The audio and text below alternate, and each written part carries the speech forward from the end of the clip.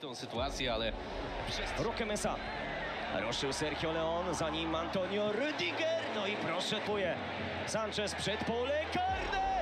Ależ kapitalna interwencja Thibaut Courtois. Pofrunął belgijski super. Natychmiast szansa na wrzutkę w szesnastkę.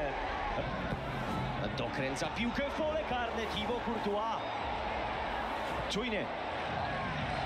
Kłopoty Realu Madryt. Piłka w powietrzu. Courtois! Courtois! Fenomenalny jest Thibaut Courtois. Utrzymuje Real Madryt w tym... Gwizdka sędziego. Weissman.